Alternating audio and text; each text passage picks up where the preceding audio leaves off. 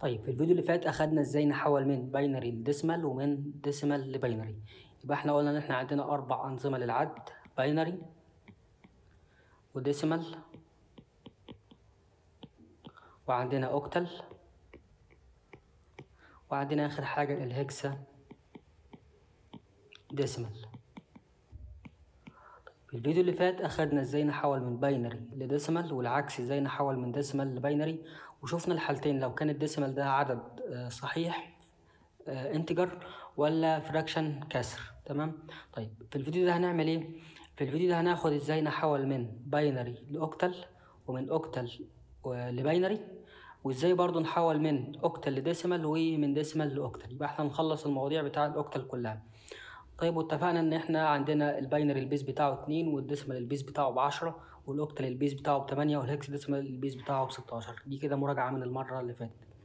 طيب تعالى نبدأ إزاي نحول من decimal ل octal إزاي نحول من decimal ل octal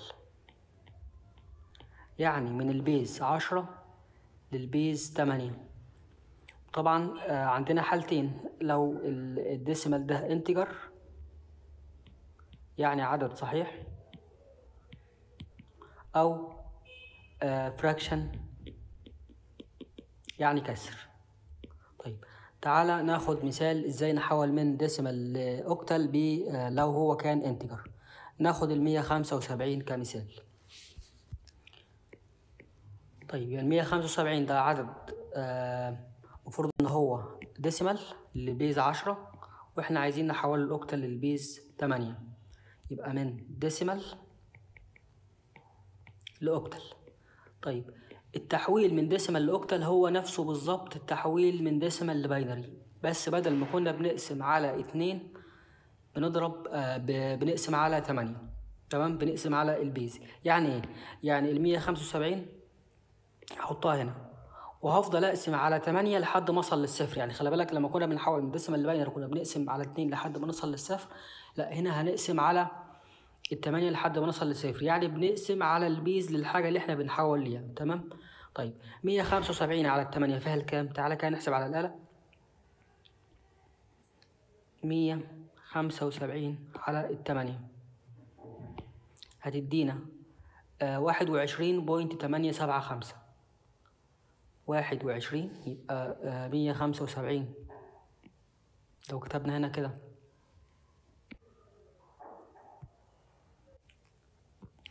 آه sorry مية خمسة وسبعين على التمانية. قلنا إن هو هيدينا واحد وعشرين point طيب هيدينا واحد وعشرين point تمانية سبعة خمسة. ده كده العدد الصحيح وده الكسر. طيب زي ما إحنا متعودين العدد الصحيح هكتبه هنا تاني اللي هو ناتج القسمة تمام؟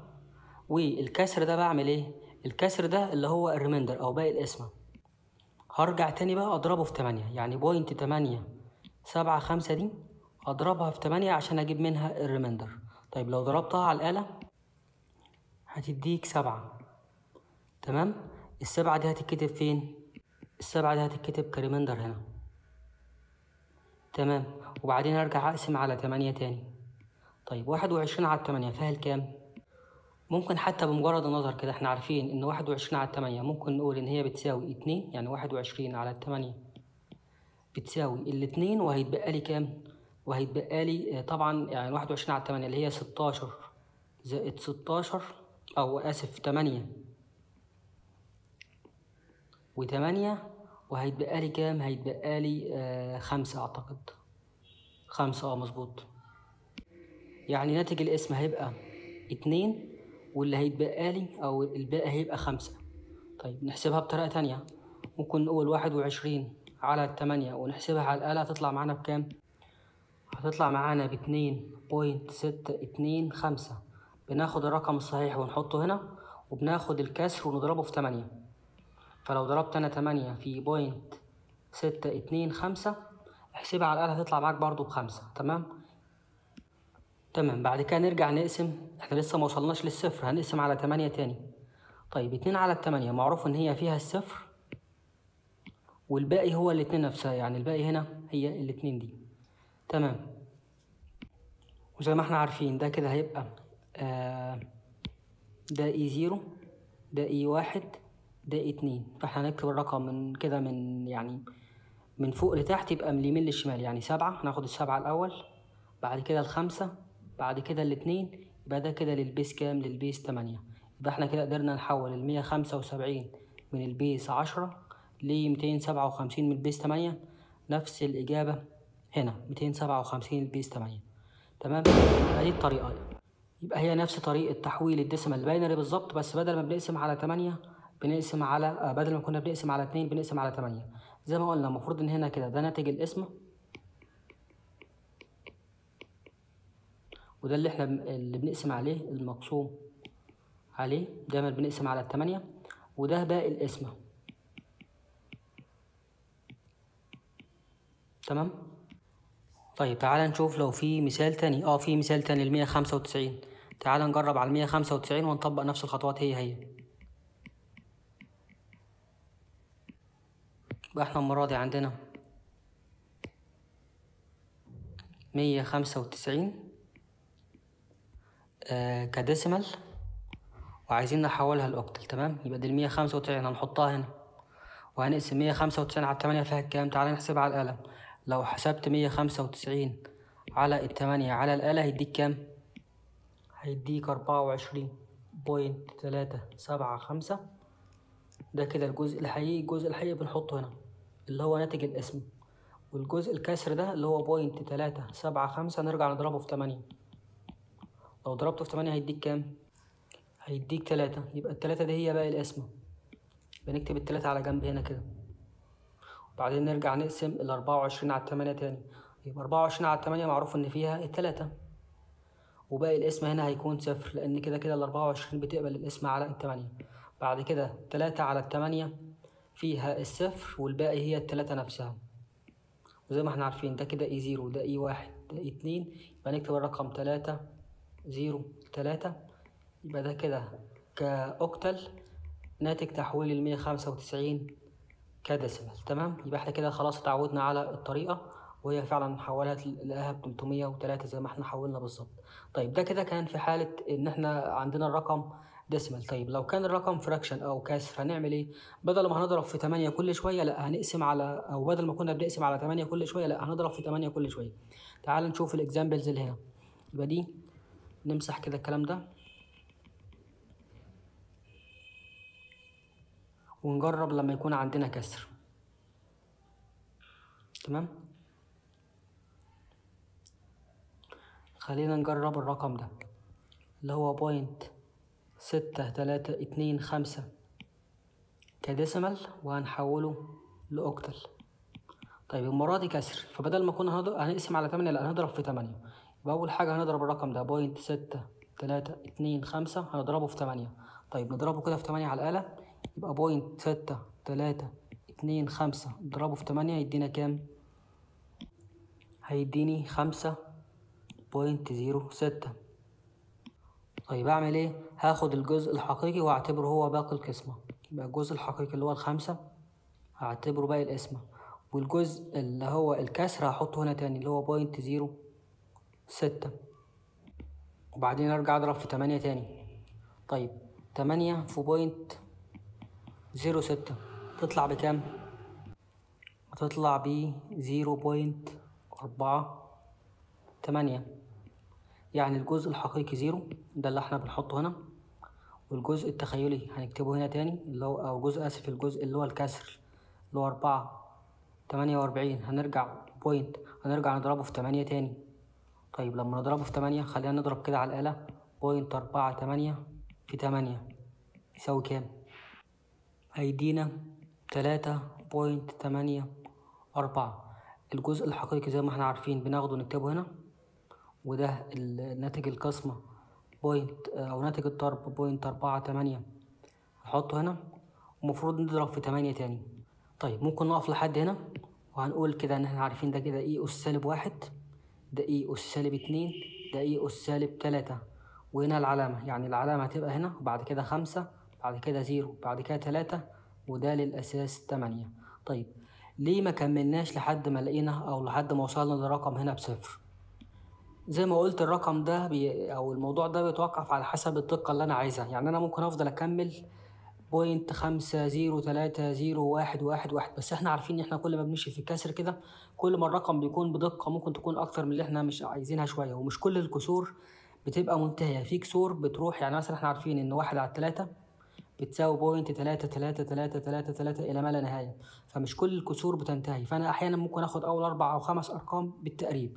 يعني أنا ده كده يعتبر زي التقريب كده اللي إحنا بنشوف في الأرقام الحسابية.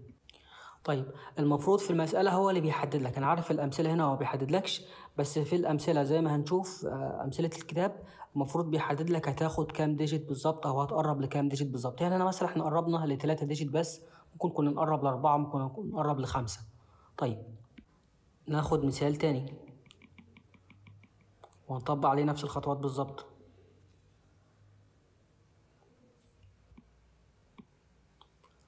تمام؟ طيب المرة دي هنحط إيه؟ المرة دي عندنا الرقم اللي هو point تلاتة. هناخد الرقم ده ال example ده point تلاتة واحد اتنين خمسة لل base عشرة.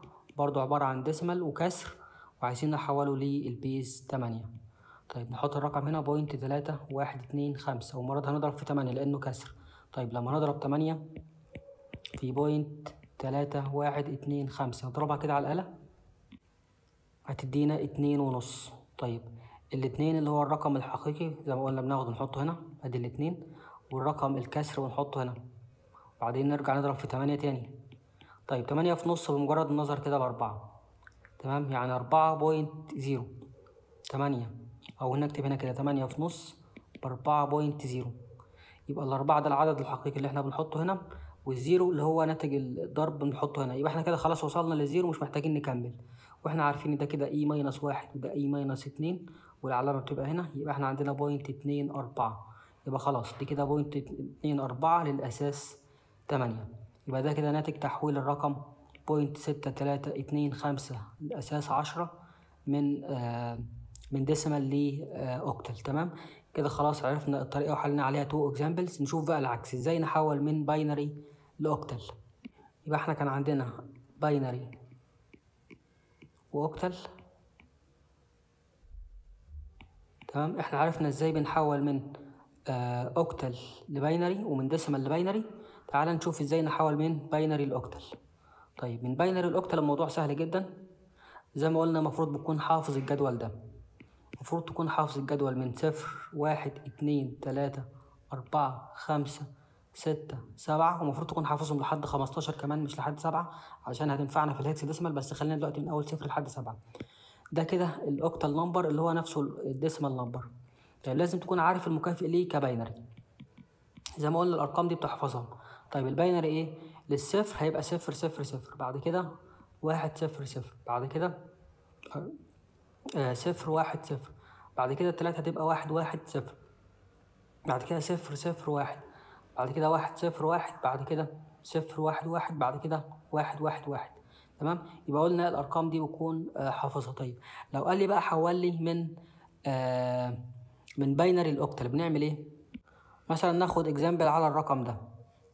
الرقم ده عبارة عن point في هنا علامة point zero واحد وعندي هنا zero واحد واحد zero واحد. طيب بناخد كل ثلاث أرقام ونشوف إيه المكافئ ليهم. يعني نبدأ بعد العلامة ناخد الثلاث أرقام دول. الثلاث أرقام دول في الجدول ده هم المكافئين لإيه؟ الثلاث أرقام دول هم المكافئين لرقم ستة. يبقى نكتب هنا كده ستة. طيب والأرق... والرقمين دول الرقمين دول المفروض إن أنا محتاج ثلاث أرقام فممكن أحط صفر على الشمال. الصفر على الشمال ملوش قيمة تمام؟ يبقى الثلاث أرقام دول مع بعض هيبقى صفر واحد صفر صفر واحد صفر مكافأة لاتنين. يبقى ممكن نحط هنا اتنين. بعد كده الأرقام اللي بعد العلامة. عندي صفر واحد محتاجين رقم كمان فاحنا ممكن نحط صفر على اليمين وإحنا عارفين صفر على اليمين. بعد العلامة برضو ملوش قيمة. طيب يبقى صفر واحد صفر صفر واحد صفر برضو مكافأة ليه اتنين. والعلامة زي ما هي.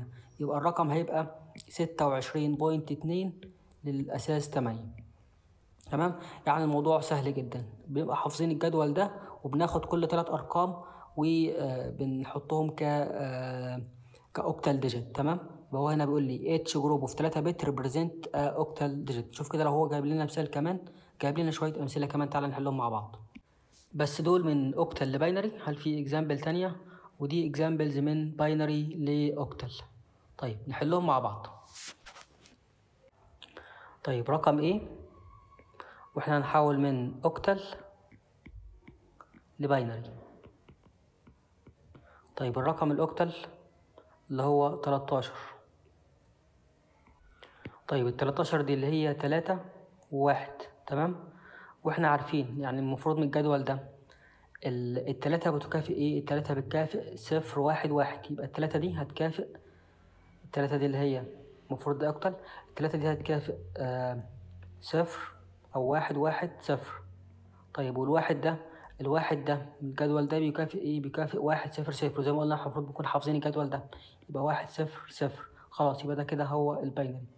يبقى دي كده تحويلة التلاتاشر ل binary تمام؟ طيب الخمسة وعشرين. الخمسة وعشرين ك octal برضو هناخد الخمسة لوحدها.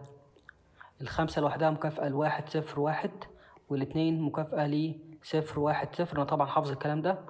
ده كده كباينري تمام؟ يبقى نفس التحويلة دي. طيب المية وأربعين المية وأربعين. خلينا كده نكتبها بشكل موسع شوية. المية وأربعين كأوكتل. طيب الصفر إحنا عارفينه مكافئ لتلات أصفار. الأربعة مكافئ ل آه صفر صفر واحد. الواحد ده مكافئ. لواحد صفر صفر.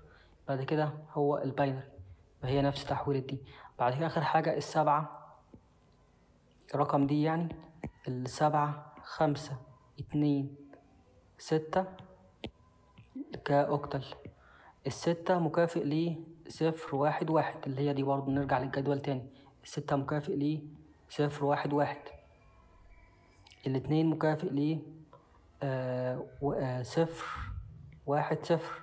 بعد كده الخمسة مكافئ لواحد صفر واحد. بعد كده السبعة مكافئ لواحد واحد واحد يبقى ده كده ك binary يبقى أنا ببص على الجدول ده وبحول على أساسه ومفروض أكون حافظه زي ما قلت. طيب ده كده ال example اللي إحنا بنحول من octal ل binary تعال نشوف آه، ال example التاني ده إزاي نحول من binary ل octal برضو الموضوع سهل جدا. من binary ل octal طيب رقم A؟ رقم A عندي؟ واحد صفر واحد صفر واحد واحد. بنقسمهم ل group من ثلاثة وبنشوف كل رقم مكافئ لإيه؟ الواحد صفر واحد دي المكافئ لخمسة. الصفر واحد واحد دي المكافئ لستة. زي ما قلنا من الجدول. يبقى ده كده خمسة وستين آه كأوكتل. يبقى خمسة وستين كأوكتل. تمام؟ طيب بالنسبة لرقم بي. رقم بي عندي آه واحد. المفروض بس نكتبهم من اليمين للشمال. صفر واحد صفر بعد كده صفر. صفر واحد قسمتهم كل مجموعة لوحدها أو كل تلاتة digit لوحدهم. الصفر واحد صفر دي مكافأة لي اتنين والواحد والصفر صفر واحد دي مكافأة لأربعة يبقى اتنين وأربعين ك octal. طيب آخر حاجة رقم C دي. رقم C نكتبها من الشمال من اليمين للشمال صفر صفر واحد. بعد كده واحد صفر واحد. بعد كده هيبقى لنا هنا واحد. الواحد ده إحنا ممكن نحط صفرين على الشمال الاصفار على الشمال اللي إحنا عارفين إن هي مش مؤثرة في حاجة. صفر على الشمال ملوش قيمة. بعد كده ناخد كل تلاتة digit مع بعضهم. صفر صفر واحد دي مكافئ لأربعة واحد صفر. آه، واحد صفر واحد دي مكافئ لخمسة واحد صفر صفر دي مكافئ لواحد يبقى ده كده مية أربعة وخمسين ك octal. تمام؟ يبقى إحنا كده عرفنا إزاي برضو بنحول من binary ل octal ومن octal ل binary يبقى خلاصة الكلام اللي إحنا أخدناه في الجزئية دي عرفنا إزاي بنحول من. خلينا نمسح خلينا نكتبهم هنا كده تاني. أنا كان عندي هنا binary و octal أو هنا decimal وهنا octal وهنا hexadecimal إحنا اخدنا إزاي بنحول من binary ل octal ومن octal ل binary ومن octal ل decimal ومن decimal ل octal وكنا الفيديو اللي فات اخدنا إزاي بنحول من binary ل decimal ومن decimal ل binary. بقالنا بس إيه إزاي نحول من hexadecimal لأي آه آه نظام عد تاني وده اللي هنشوفه في الفيديوهات الجاية بإذن الله. يبقى إحنا كده خلاص خلصنا آه لحد فين؟ لحد هنا إن شاء الله. خلاص يبقى إحنا كده الفيديو الجاي ال binary وال hexadecimal convert